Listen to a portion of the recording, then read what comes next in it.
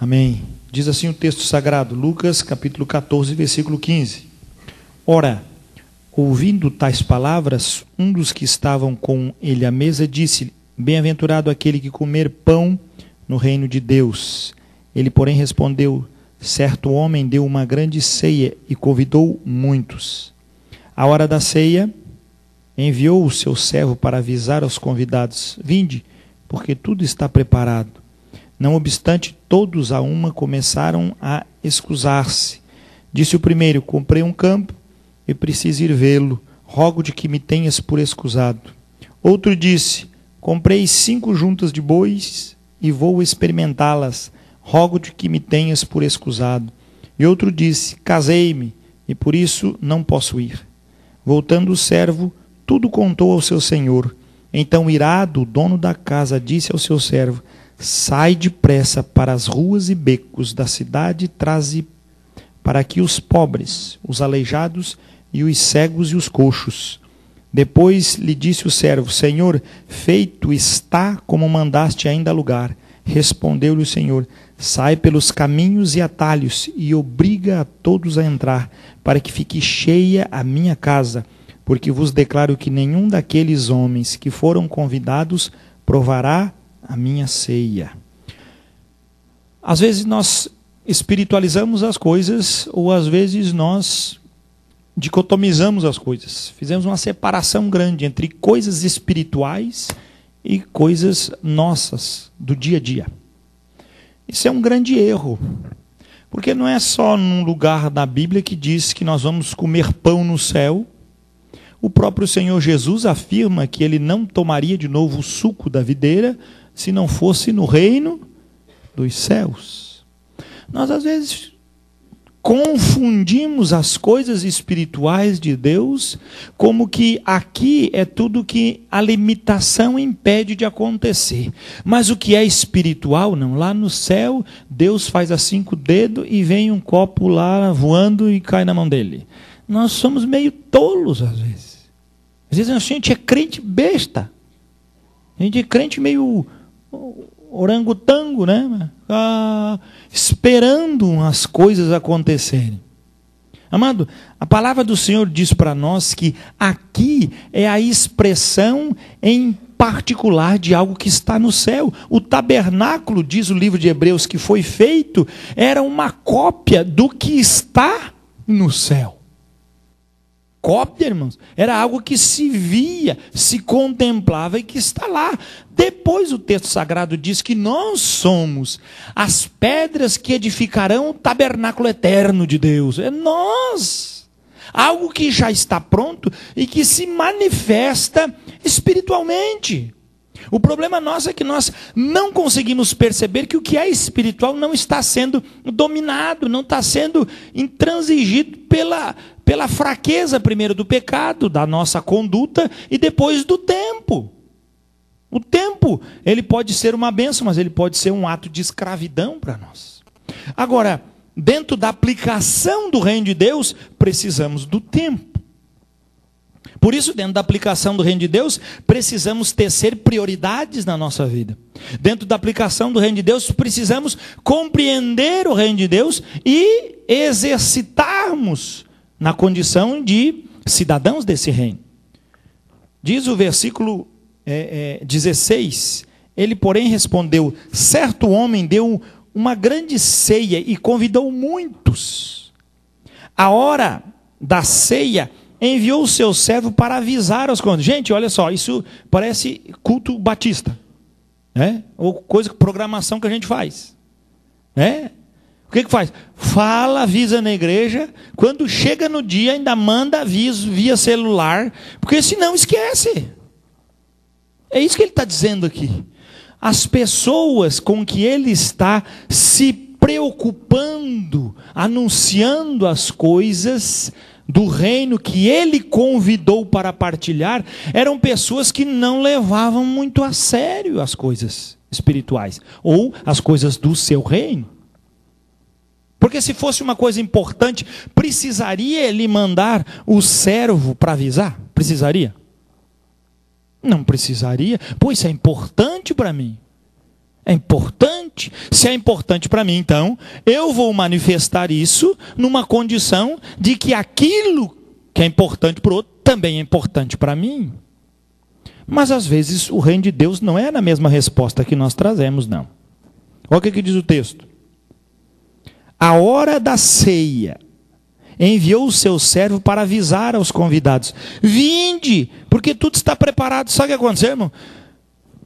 O texto original diz que ele chegou para a ceia, preparado, adornado, bonito, comida pronta. E o que, que ele disse?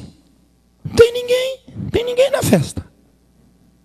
A hora da ceia, o termo original diz no momento da festa. O que, que aconteceu? Quem que estava lá? Não tem ninguém. Aí ele chama o servo de servo. Vai lá e avisa eles. Diz que, ó, já está na hora. É ceia, é para a gente comer. Eles estão com fome. Alguma coisa eles vão vir. E qual foi a resposta desse povo? Que é muito parecido com a nossa. 18. Não obstante, todos a uma começaram a excusar-se. Eles não estavam lá porque não queriam participar daquele reino. Não tinha vontade nenhuma deles de estar ali. O que, que tem? Estavam priorizando ali Estavam eles agindo de uma forma verdadeiramente compromissada com o que estava sendo feito no reino? Não, eu não vou. Eu não vou. Por quê? Olha lá. Comprei um campo e preciso ir vê-lo. Rogo-te que me tenhas por excusado. Gente, quem compra um campo pode ver uma semana antes, um dia depois. Por que, que tinha que ser? Naquele momento. Por que, que tinha que ser? Justo naquele horário. Você nunca parou para perceber o que o reino de Deus marca na nossa vida e entram coisas que querem obstruir a nossa comunhão, que querem obstruir a nossa ação de sinceridade diante de Deus? Existe ou não? Coisas como essas. Ó, oh, eu tenho comprei um campo, eu preciso ver, cara, ver amanhã, ver depois. Agora não, agora eu vou celebrar essa ceia com meu amigo. Não, eu botei o que na frente dele? o meu campo. E a Bíblia deixa bem claro. O grego diz que ele usou isso como excusa, usou isso como desculpa, só desculpa. Só desculpa. Será que você dá algumas desculpas dessas às vezes para o seu irmão? Irmãos, nós estamos dizendo condições justificáveis. Às vezes nós temos realmente algo que nos impede mas às vezes nós não fazemos as coisas porque não temos nenhum compromisso com aquilo. Aquela pessoa, mas aqui nós vamos trazer um pouco mais perto com o reino de Deus. Nós temos esse compromisso com o reino de Deus? A ponto de largar as nossas coisas para segundo plano? Sei não. 19. Outro disse: Comprei cinco juntas de bois e vou experimentá-las que, que eu vou dizer aqui? Comprei um carro novo e eu preciso ir lá na casa dos meus pais. Vou passear, ver se o carro é bom mesmo. Se for contextualizar é isso. Ah, comprei um, um, maquinário novo. Quero ver agora se lá na minha roça vai funcionar. Cara, usa o carro daqui a pouco. Por que, que tem que ser nesse horário? O que, que o texto da parábola quer dizer para nós? Quer dizer que qualquer coisa que entre na frente do reino de Deus e do compromisso com o Senhor é algo para nós ficarmos espertos, porque isso agrada o coração do Senhor. O que, que diz o texto? 20. O outro disse: Casei-me e por isso não posso ir.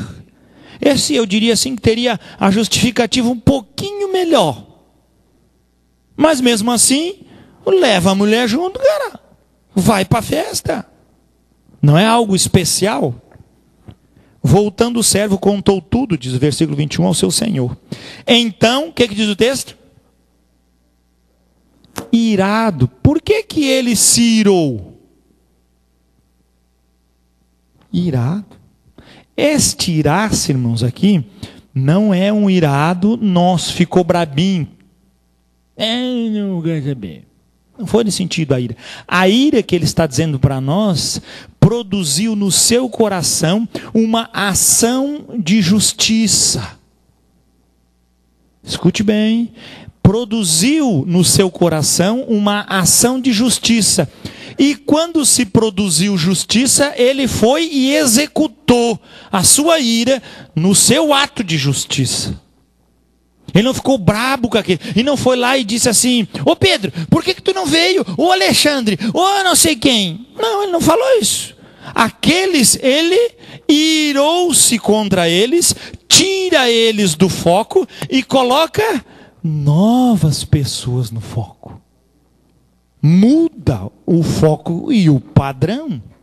O reino de Deus, irmãos, eu sempre disse, nós é que precisamos estar antenados. O reino de Deus é dinâmico.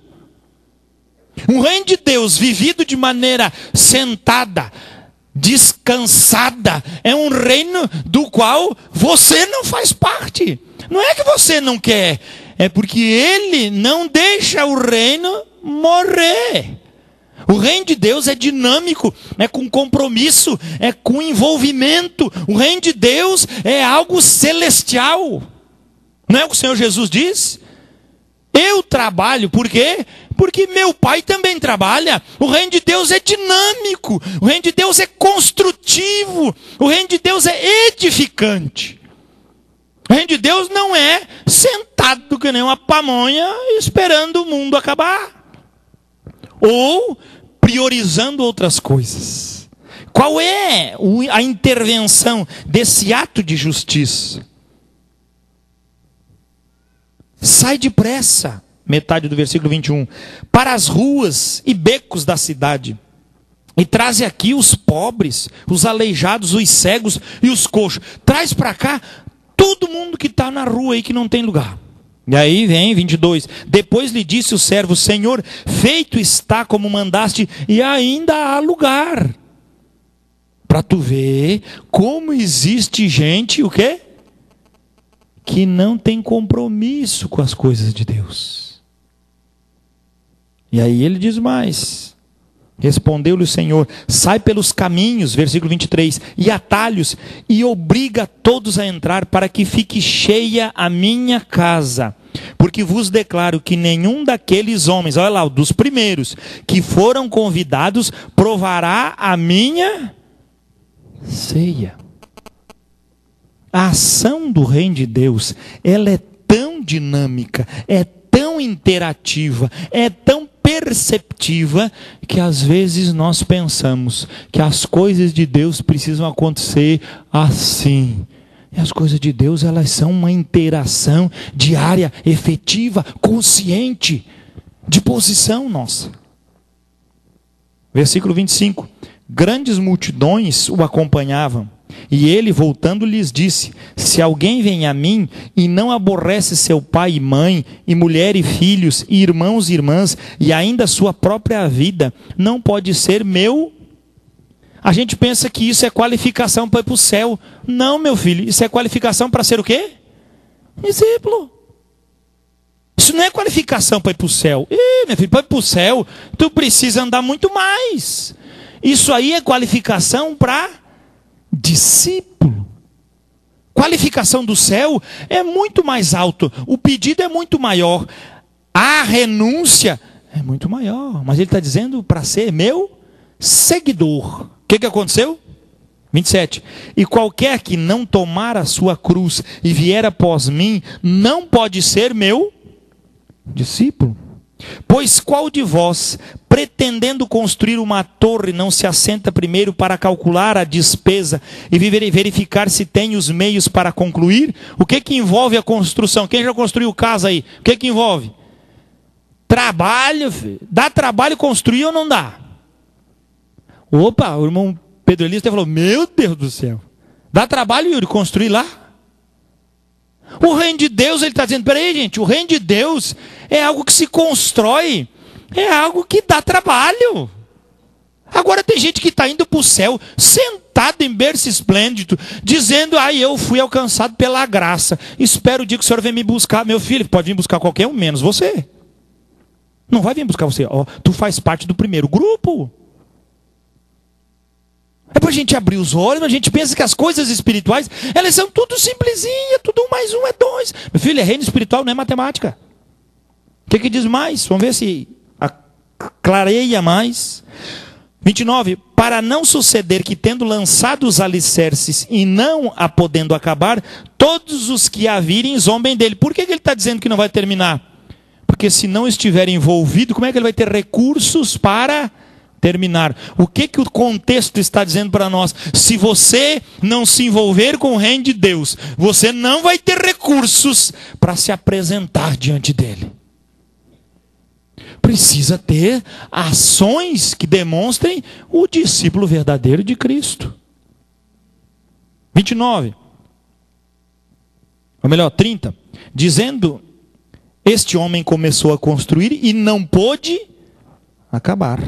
Irmãos, com todo respeito, nós estávamos no renovo dos pastores lá em São Bento, segunda, terça, e um pastor, o pastor é, Paul Andrew, trouxe para nós, é o pastor do meu pastor né? Eu vi o meu avô pastor lá. Ele trouxe uma pesquisa nos Estados Unidos, trazendo um conceito disso aqui, ó, que mexeu muito comigo. Trazendo um conceito desse versículo aqui. Nós hoje, a pesquisa nos Estados Unidos diz que 40%, veja bem, 40% dos evangélicos, dos crentes norte-americanos hoje, 40% deles são crentes não frequentam mais as igrejas. Ou seja, nós aqui tínhamos um contexto brasileiro de católico praticante, ainda temos isso, e católico não praticante. Lá é evangélico não praticante. E eles falam: eu sou um evangélico não praticante. Lá. Aí você diz, puxa, os Estados Unidos está perdido. Você já sabe quanto é no conceito do Brasil? A revista Enfoque, entrando na mesma condição, pegou, nós já estamos chegando a 30% de evangélicos não praticantes, porque a revista Enfoque colocou um evangelho não praticante aquele que vai uma vez por mês, ele é não praticante. Tem tá chovendo de crente que só vai uma vez por mês na igreja. Ou quando tem alguma programação especial. Aonde isso? Aqui, no nosso país. Eu sempre falo, os americanos demoraram 200 anos para se entortar, mas em 20 anos entortaram o Brasil. Porque nós não temos nenhuma expressão de sabedoria, nós só copiamos, aí a podridão veio e agora estamos comendo aí bobajada. O que está acontecendo? Hoje temos um monte de gente que é crente nominal, é aquele que está lá deitado dizendo: Não, Jesus vem um dia, eu tenho certeza da minha salvação e eu vou para o céu. Eu encontrei, eu já confessei, já fiz tudo que eu tinha que fazer como um crente. Agora eu estou esperando o Senhor. Eu só vou dizer uma coisa para esse: sentadinho fica esperando. Não estou justificando também que vir para a igreja salvo, que tem muitos que vêm para a igreja toda vez e também não está salvo. Estou colocando apenas uma ação de interação com o reino de Deus. Isso é que vai fazer a diferença que, que ele diz mais? 31. Ou qual é o rei que, indo para combater outro rei, não se assenta primeiro para calcular se com 10 mil homens poderá enfrentar o que vem contra ele com 20 mil? Caso contrário, estando outro ainda de longe, envia-lhe uma embaixada pedindo condição de paz. Assim, versículo 33 diz: Pois todo aquele que dentre vós não renuncia tudo quanto tem, não pode ser meu discípulo. A condição que Jesus está estabelecendo aqui é de discípulo. Gente, por que, que Jesus bate tanto nesse contexto e, e Lucas escreve isso com muita autoridade? Ele estava dizendo para não trabalhar mais, está dizendo para não ganhar mais, está dizendo para não construir mais. Não, não é isso que ele está dizendo. Ele está colocando o princípio do reino de Deus acima, em primeiro lugar, é a única condição desse texto. E é muito fácil para nós não colocarmos o reino de Deus em primeiro lugar. É muito fácil, mas é fácil demais a ponto de nós conseguirmos ter duas vidas: a vida na igreja e a vida fora da igreja. A vida da igreja é uma coisa, vida fora da igreja, fora da igreja é outra coisa. Bem difícil. Né? Hoje ainda estava conversando com, com um, um, senhor, ele tem uma causa, uma pendência na justiça, e aí o, a advogada que estava protelando a causa escreveu cobras e lagartos do cidadão, se é isso, aquilo, aquilo, aquilo, aquilo, aquilo, aquilo outro. E ele foi conversar com a pessoa, mas eu sou tudo isso. Eu disse, não, isso foi o advogado que fez. Mas quem é advogada? Advogada é uma missionária, crente, gente boa. Aí eu pergunto para ti, se o crente está desse jeito, até o pescoço com o mundo, que não tem padrão nenhum de honestidade, de honradez, de integridade, como é que nós podemos esperar alguma coisa? Se a vida do cristão já está misturada, para que, que serve ele? A não ser para ser pisado. Versículo 34. O sal é certamente bom, caso, porém, se torne insípido, como restaurar-lhe o sabor? Nem presta para a terra, nem mesmo para o monturo. Lançam-no fora. Quem tem ouvidos para ouvir? A nossa condução. Se não estiver envolvimento. O sal na comida, para que, que serve? O sal, quando entra na comida, ele entra só na parte de cima, na de baixo, só no meio. Ele entra e contamina tudo. E quando nós pegamos a comida, hum, que saborosa. Por quê? Porque foi temperada com sal. Quando falta, comemos, mas não é aquilo tudo. Por quê? Porque o sal ele dá sabor, ele contamina o todo. E aí vem a minha preocupação com minha vida, com as nossas vidas. Será que a igreja tem sido este manancial de Deus, trazendo água mundo afora? Ou é uma igreja que está cada dia mais sem Deus? Cada dia mais longe de Deus, cada dia mais sem tempero e gosto nenhum, cada dia mais pisada, cada dia mais ofendida, cada dia mais desgraçada. Nós precisamos recuperar, precisamos trazer a nossa mente. Mas uma coisa o pastor quer encerrar trazendo para você apenas a condução disso, para que o Espírito traga isso para você. Será que toda essa ação de Deus, de trazer revelação para a nossa vida, de trazer interesse, tem produzido em nós realmente pequenas gotas, pequenas porções de sal, que tem salgado o nosso serviço, a nossa escola, os nossos amigos, que tem feito toda a diferença no meio da onde nós estamos? Será que isso tem trazido para nós o valor verdadeiro das coisas espirituais de Deus como um compromisso com o Senhor? De interação, de vida, de dedicação e de envolvimento? É algo que nós precisamos relembrar, irmãos, sempre isso. Porque Deus, quando amou o mundo, se envolveu com o mundo a ponto de entregar seu filho. Será que nós, quando amamos Deus, abandonamos o mundo, nos envolvemos com o reino de Deus a ponto de nos entregar por este reino? É só isso que eu quero. Não quero que você se entregue pela igreja. Eu não quero que você se entregue por ninguém. Eu quero que você se entregue pelo reino de Deus porque você vai ter utilidade na igreja do Senhor, porque você vai ter utilidade no serviço aonde você está, porque você vai ser um construtor que é realmente sábio e edifica e começa a obra e termina. Será que isso não é a posição e condição de Deus para nós, para reagirmos, irmãos, dentro da posição que Ele escolheu para nós? O seu reino, a sua vontade, o seu domínio. Estamos interagindo como devemos nesse reino? Será que nós somos destes que diz: "Não, eu não vou, depois eu dou uma justificativa qualquer para Deus e ele vai me aceitar"? Que tristeza para nós. Quando não sabemos mais do que está acontecendo. A revista Enfoque traz para nós, se você não sabia, vou lhe contar. De cada 50 de cada 50 evangélicos cada 50 evangélicos no Brasil, um tem problema com homossexualidade. Cada 50, um. E a gente olha assim na nossa igreja e diz: Pô, mas nossa igreja não tem esse problema, nossa igreja não acontece isso. Meu filho, se nós não tivermos compromisso com a igreja, às vezes tem um irmão aí ou uma irmã que está lutando, está dando sua vida, fugindo contra todas as amarras do inferno, contra o que sua carne está ali bruscamente e agorosamente desejando. E ele está pedindo ajuda, mas quando nós nos envolvemos, nós não estamos vendo quem são esses. Porque aos nossos olhos nós estabelecemos uma igreja que não vai acontecer nada. Amado, eu só estou avisando que acontece isso no nosso meio.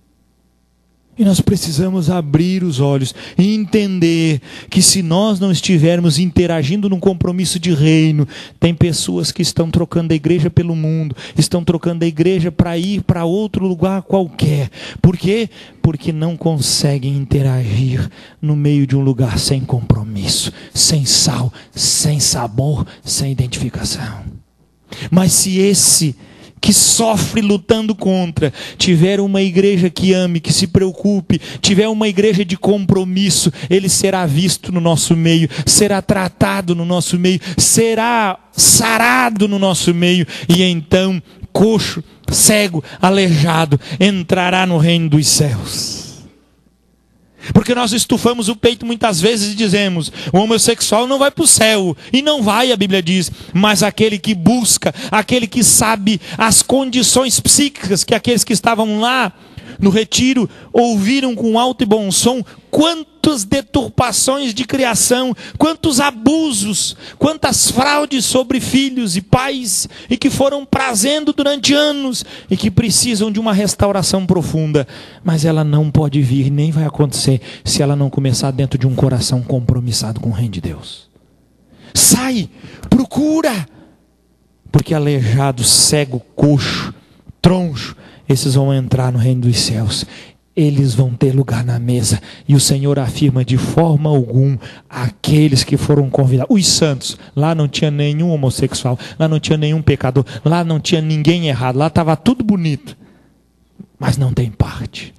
Os aleijados, os secos, os quebrados, os que não tem ninguém que queira, os intratáveis, esses são convidados à mesa. E esses são os bem-aventurados de sentar-se à mesa no reino dos céus. Será que nós não pensamos que estamos na mesa e tem gente que está passando por nós para sentar na nossa frente? É apenas um momento para questionarmos bem a nossa conduta e condição. Mas é um bom momento para nós preparar o nosso coração e dizer: Senhor, onde estão as minhas prioridades? Onde está o gerar do meu compromisso com o Senhor?